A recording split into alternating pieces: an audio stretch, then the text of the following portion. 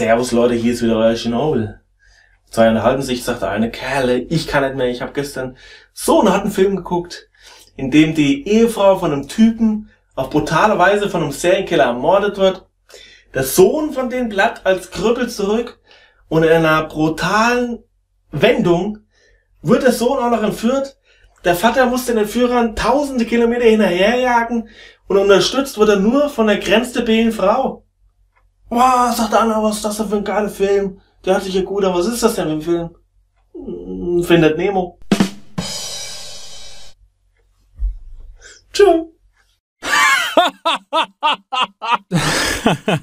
äh.